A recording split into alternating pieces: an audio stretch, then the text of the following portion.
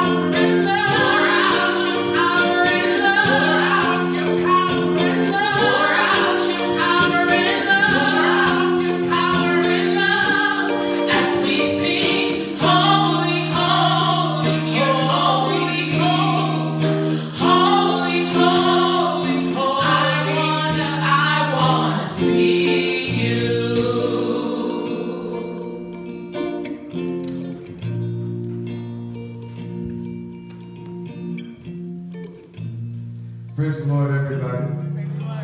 Amen. Truly, we thank you, praise the Lord, for His grace, His mercy, His love, and His kindness. We thank you, Lord, for how good He's been to each and every one of us. Amen. Amen. Hallelujah. So let us just give the Lord a praise. Give the Lord a praise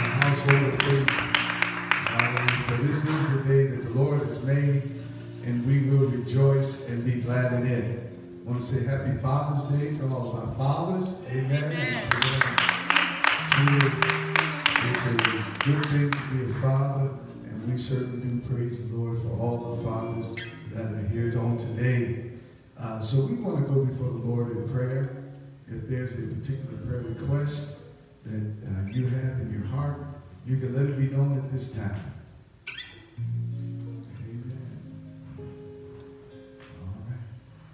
Thank God for Alicia. Amen. Alicia. Amen. We thank God for you. We be praying for you. Amen. Strength and recovery. All right. I want to ask the church to stand. Let every heart pray. Gracious Father, in the name of Jesus, we pray, Lord, that you cover us with your blood. Protect us from danger seen and unseen in the name of Jesus. We ask you, Lord, that you look upon each and every servant that is here on today, that you send forth your grace, send forth your help, send forth your strength in the name of Jesus. Lord, we praise you for all your grace and your mercy, your love and your kindness that you bestowed upon us. Lord, we thank you because you woke us up this morning and you started us on our way. You've given us a mind to come out to the household of faith to worship you in spirit and in truth. And now, Lord, we ask you to take charge of our service. Bless each and every soul that is on the sound of our voice. And Lord, we praise you and give you glory and thanks and honor. In Jesus' name, amen. Amen. As you remain standing, just want you to uh, turn with me uh, once again to the book of uh, Psalms, Psalms 133. Uh, this must be what we need to be praying for in these uh, given times because the Lord seems to have me keep going back to that particular psalm, Psalm 133. It says, Behold, how good and how pleasant it is for brethren to dwell together in unity. It is like the precious ointment upon the head that ran down upon the beard, even Aaron's beard, that went down to the skirts of his garment, as the dew of Hermon, and as the dew that descended upon the mountain of Zion. There the Lord commanded a blessing, even life forevermore. I've read in your hearing Psalms 133, verses 1 through 3. Praise team.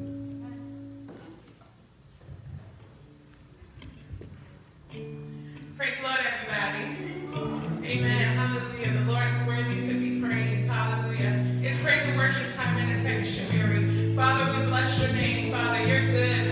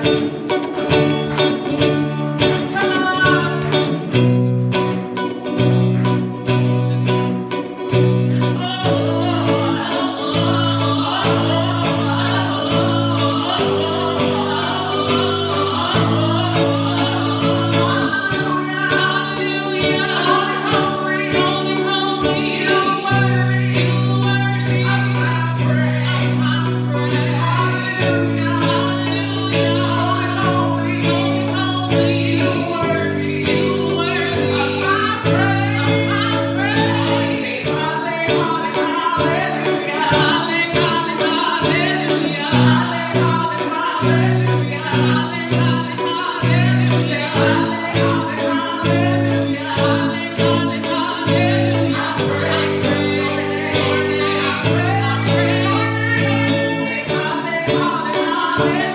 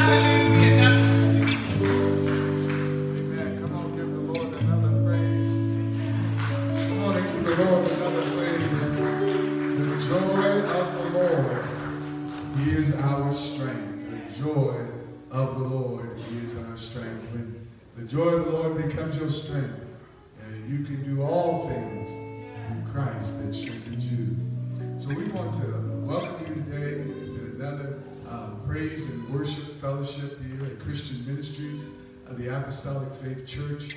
I am the pastor, Bishop Frankie L. Quinn. We thank God for each and every one of you. We thank God for the leadership here at this great church. And we also thank God for my lovely wife, Lady Tracy Quinn. Just wave your hand over there, honey. All right, you over there in your little land of Goshen. I call that the little land of Goshen. Amen. So we thank God for you. We thank God for our deacon, Deacon Daniels, and praising our worship team, and. We thank God for them. Amen. We certainly do thank God for you all pressing your way out on today. Amen. My brother-in-law, he's back again. Amen. Thank God for him. Brother Spencer Butts. Amen. We thank God for him. And I'm going to call your little fiance. Amen. We thank God for her as well.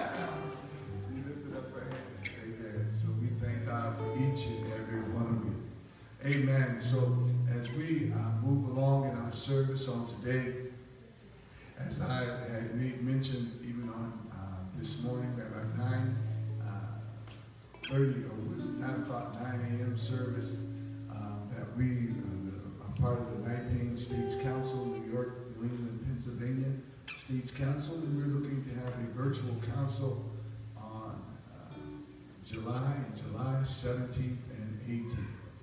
Um, so that'll be Saturday, Friday, and Saturday. So information will be coming forward and coming out.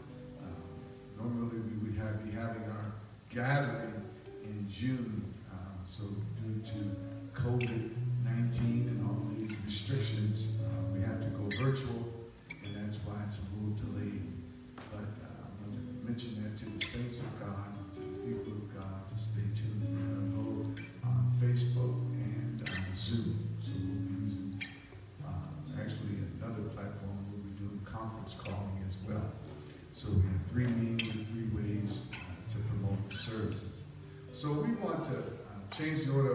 service on today. Amen. Go into our giving and our offering time. Uh, and it's a time to be blessed. The Bible says it's more give blessed to give than to receive. And God loves a cheerful giver. Amen. So um, right now we want to go on prayer. Amen. Gracious Father, in the name of Jesus, Lord, we ask you to bless this portion of our service. We ask you, Lord, to send forth your glory, send forth your anointing, send forth your strength.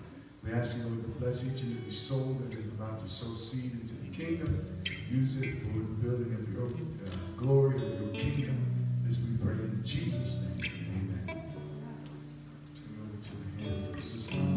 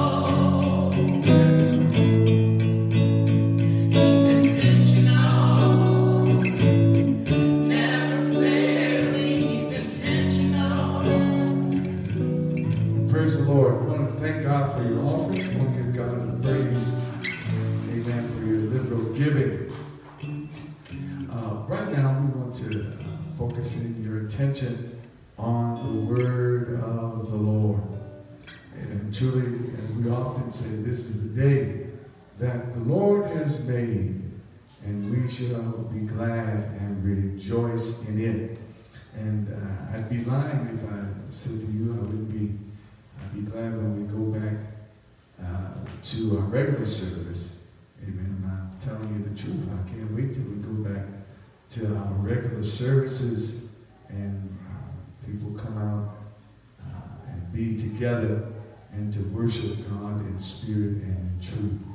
But we certainly do, as we've been trained and we've been taught by the scriptures and the word of God to give thanks in all things. How many of you believe that today? Give thanks in all things, for it is the will of God in Christ Jesus concerning you. So we bow in humble submission to the will of God. They usually say that, they usually say that at funerals. We bow in humble submission to uh, what God's will is. But we should bow in humble submission to everything that God allows to enter into our lives. And as the song said, it's intentional. God is intentional and he works for our good. And that, that there is a weapon of warfare. When you realize that no weapon formed against you, not anything that the enemy brings against you, can destroy you. But God, He is faithful. How many of you know God is faithful? Hallelujah. God is faithful. He won't suffer anything to come upon you that you are unable to bear. So whatever you're going through right now, even now, even now, God, uh, he, he knows that you are able to bear it. Not that saying that God has brought it upon you, but if he has allowed it, you're able to bear it. Because God is just that kind of God.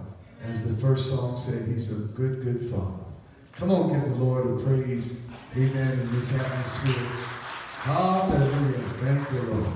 I praise him on today because he is our strength. He is our shield and he is our buckler. I want you to turn with me to 1 Corinthians. 1 Corinthians chapter 15. 1 Corinthians chapter 15.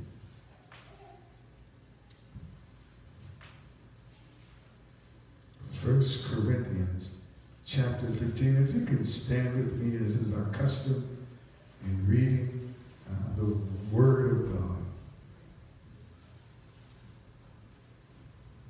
I pray that you pray for me and with me. Amen. And as I pray for you and with you. Um, if you have it, say amen. 1 Corinthians chapter 15. Uh, uh, drop down with me to verse 57.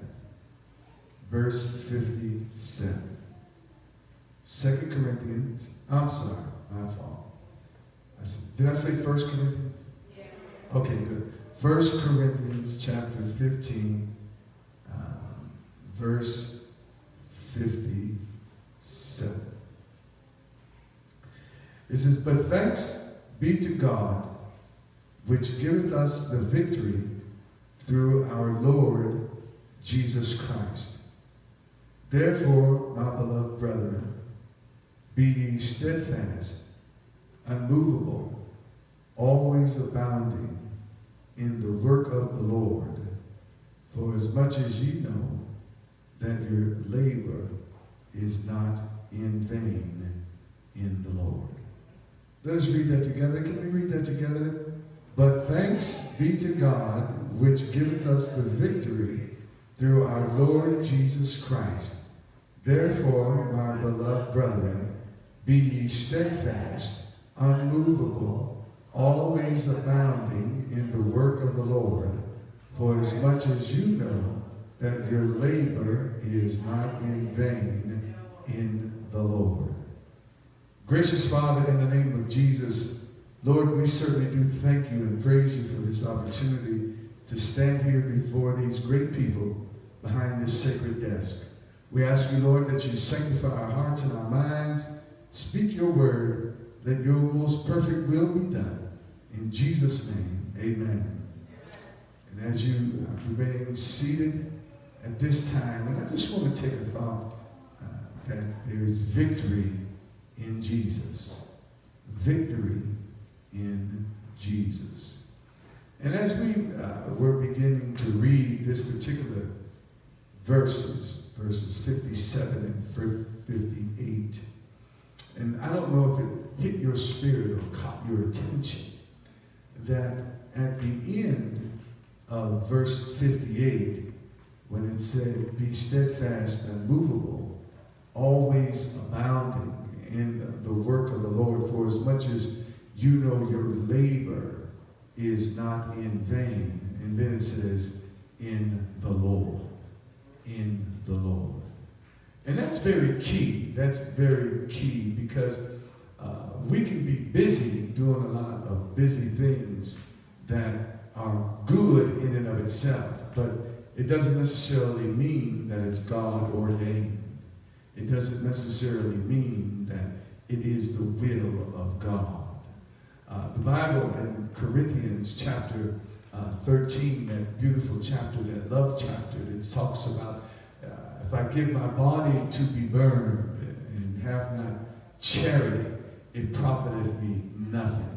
If I, if I make myself a living sacrifice and I don't operate out of love, it is of no value. And I can have all mysteries and speak with excellency of tongues, but have not love, it profiteth me nothing. So everything that we do is to be done out of love. God is looking for us to do things out of love, to be motivated by love. Even the object of your faith, we all have a, a measure of faith that is given to us by God. And if God is not that object of faith that we uh, put our confidence in, that uh, we are like what we call, uh, uh, uh, we ask and we pray amiss. If God is not my source, if God is not my object of satisfaction, then my faith is in vain. That's why a lot of people who put their confidence in man and put their trust in man fall because uh, when man falls, they fall. But if you put your confidence in God, who is unmovable, who's unshakable, uh, you shall never fail. You shall never fail. Putting your confidence in God means a great deal. That's why the scripture tells us, it, it relates to us that we are should be more than conquerors through Christ that strengthens us. God does not want you to go about your day or go about your existence without a, a mindset of being victorious. God does not want you to live in existence without doing great exploits or great works for his name. The Bible tells us that if any man be in Christ, he is a, a new creature. All old things have passed away. Behold, all things have become If I if I if I were wanted to remain weak, I would have stayed out there in the world. If I wanted to remain be less than nothing, I would have continued my life existence without God. Uh, but because I wanted to make a change, because there was something in me that said that there is something better. How many of you know that there is something better? Hallelujah. Just living a mere life existence, doing nothing like a ship without a sail. That's not our calling. That's not our purpose. But God has a calling on our lives. God has a purpose for us, even in this particular hour. There's a lot of things that are going on in the world on today. There's a lot of struggles. There's a lot of ups and downs. There's a, a lot of fights. There's a lot of people getting killed, people getting shot. But God still has a plan. God still has something for you to do. As long as you're breathing, as long as there's life in your body, uh, that's a sign that God is with you. That God is with you. And if God be for you, uh, I stop by to tell you, then who then can be against you? If God be for us, then who then can be against us? And so God, in his infinite wisdom and his majesty and in his knowledge and understanding of who we are, God said in His Word that He was going to make us in His image and in His likeness. In the image and the likeness of God, He made us male and female, created, the Bible says, He them. And what God did, God made in His image and in His likeness, and He gave you a purpose. He put in you, in your life existence, a reason for living. A lot of us, a lot of us try to find out our life existence without God. A lot of us try to live a lifestyle without God and try to make our own happiness. But that's not the way God has designed things. That's not the way that God has put things together. In other words, God does not intend you to be happy without Him. God does not intend you to be victorious without Him. God does not intend you to expect you to have joy without Him. God doesn't expect you to have peace without Him. In other words, God wants to be with you uh, in everything that you do. Y'all remember when God was leading the children of Israel out of the land of Egypt, and He sent Moses down there to tell the people, uh, to tell Pharaoh to let my people go. Why did He tell them to let my people go? Because God has desired for them that He is saying it's time for It's time for you all to worship me. It's time for you all to walk with me. It's time for you all to know who I am. And Moses said, Lord, if I go down and tell them that you want them to let them go, who shall I say that sent me? And all God said, just tell them I am that I am. I'm, I'm need. I'm everything that they can desire because I'm all that and a bag of chips, if you allow me to say it in that way. Because we serve an awesome God who is able to do exceedingly and abundantly above all that you're able to ask or think. Uh, so when God told them to go down and to let my people go, God said to Moses that I'm going to go with you. Uh, I'm not going to send you by yourself. Then he said, in fact, I'm going to go before you and prepare the way. You see, brothers and sisters, when God is in the mix, when God makes up his mind to dwell in our lives, he goes before us when God decides that, that we, hallelujah, He's sending His affection upon us, He'll go before us to prepare the way. God will be with us. And God, when He led those people out of the wilderness, the Bible says that He was a pillar of fire by night and a cloud by day. God fed them manna in the wilderness. My God, and God gave them clothes and shoes that would not wear out because God was with them. And then God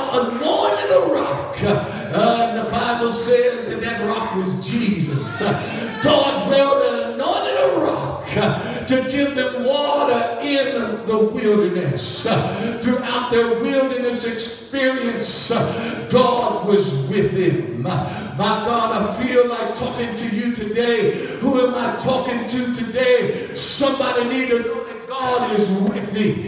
That God said in his word that he'll never leave you, nor he'll never forsake you. He'll be with you wherever you go. But sometimes we like to linger around. And that's what the children of Israel did. They lingered around. It was God that caused them into that wilderness experience. God wants you sometimes uh, to go through a wilderness experience. It's in your wilderness experience uh, where you can learn how to worship your God. It's in the wilderness experience uh, uh, where you can learn how to pray, how to read the Word God, how to fast, and to get rid of the world. When God led the children through the wilderness, their wilderness experience was only supposed to last 11 days. And then after their 11 day periods, uh, they were supposed to go into the land of Canaan. Uh, but they got hard, they got stiff necked, and they got rebellious, and that prolonged their wilderness experience. My brothers and sisters, my sisters and brothers, if you've been in a wilderness experience and it's coming to your mind that I've been in this experience a little too long, that I'm going through what I'm going through, it's been past due. I think that I should have been delivered out of this experience a long time ago. But tell you something. If you're having those thoughts, you need to sit down with yourself and with God and examine yourself. The Bible says, let a man examine himself to see whether or not he's walking or she's walking in the faith. It's not that God can't deliver you, but God is waiting. Somebody say, God is waiting. God is waiting for you to make a turn. God is waiting for you to give him the glory, to you to surrender your life, to you to turn over your life unto him because he wants to make something special out of your life. Uh, it's not the when you want it my God, but it's always on God's time. Somebody say God's time. Uh, God's time. You see, we operate in chrono time. Uh, we operate on a 24 hour period uh, when we want things done. But God, somebody say, but God, I feel like I need y'all to help me preach up in here. But God, God operates on his time.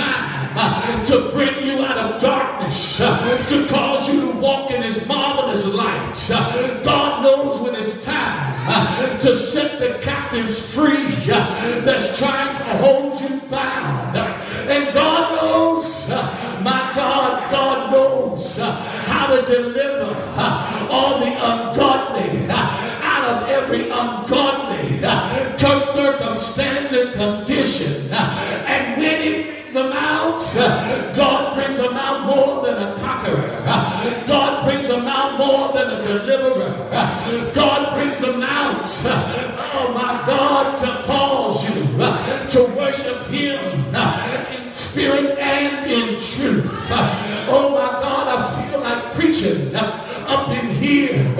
Y'all remember the apostle Saul, but he formerly was known as the apostle Paul.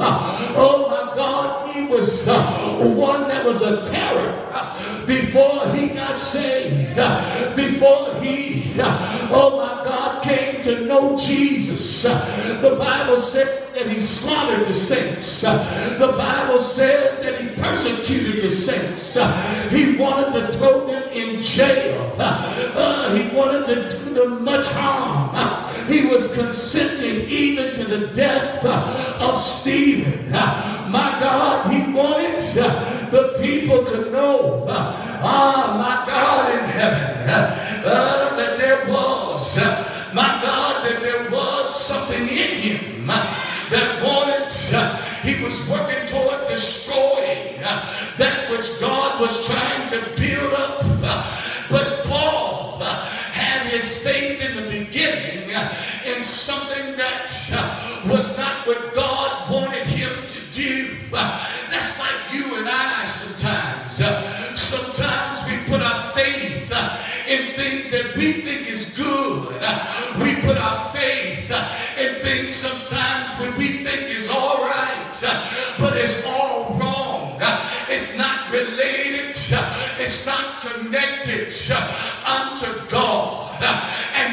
Saul was doing. He was trying to live a righteous life uh, by the works of the law, uh, trying to do what he thought uh, was what God required.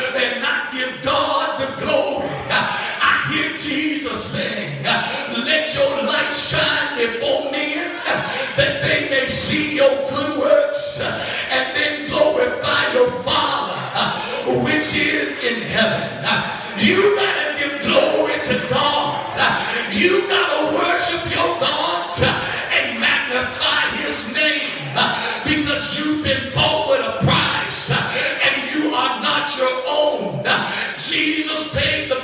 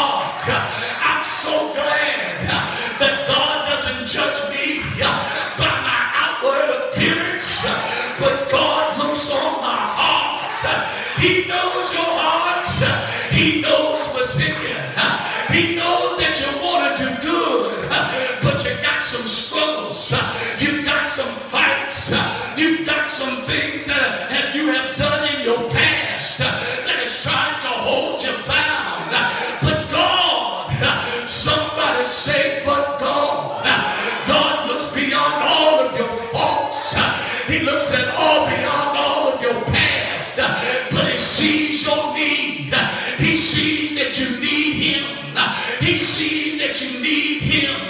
He sees that you need him. For without him, I can do nothing.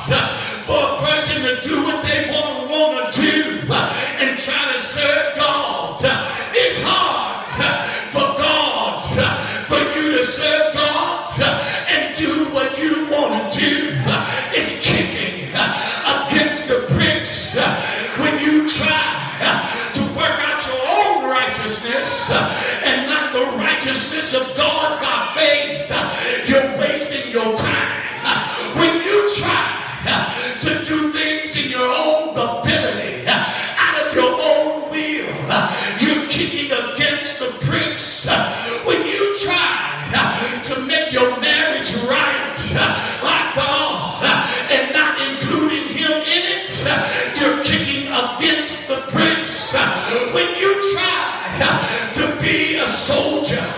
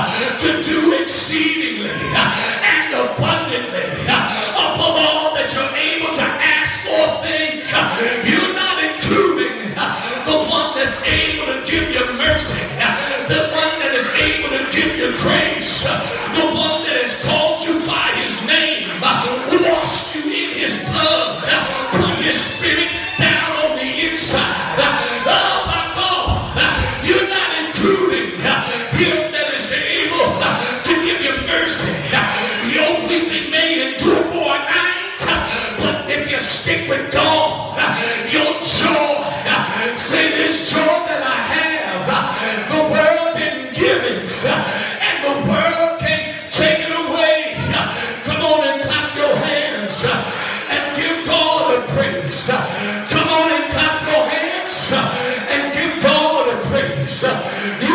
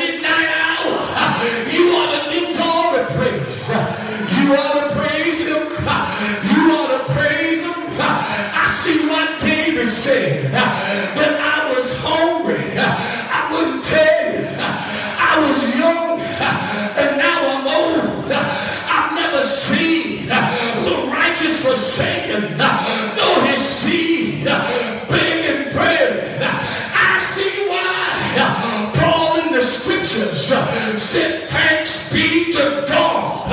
Oh my God. You ought to thank God. He said, thanks be to God that giveth us the victory. How many of you know the victory? It's not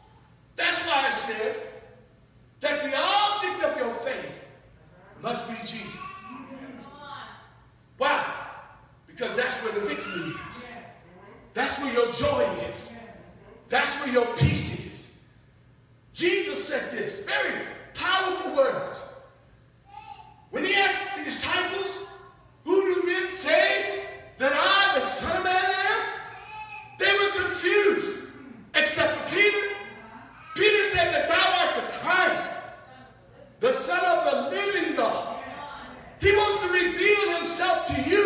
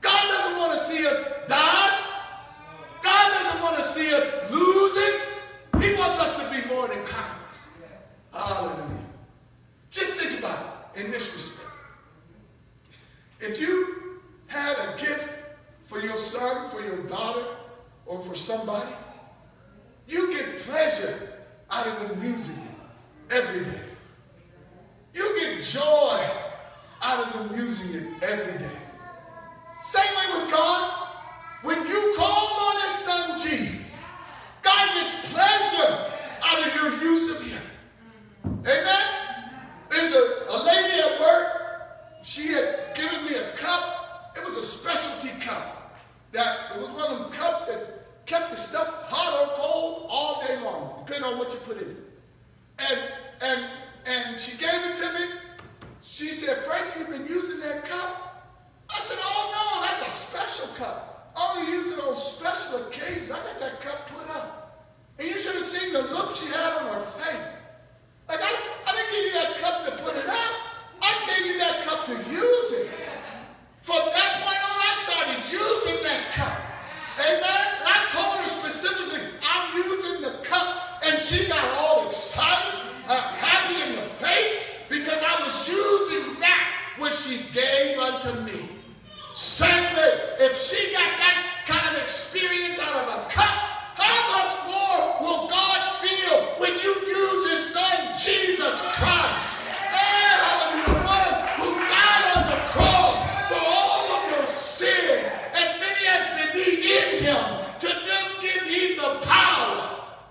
become the sons of God. There's victory in Jesus.